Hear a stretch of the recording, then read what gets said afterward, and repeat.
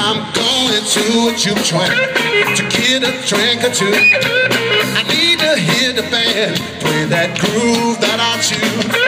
I'm so fed up, y'all.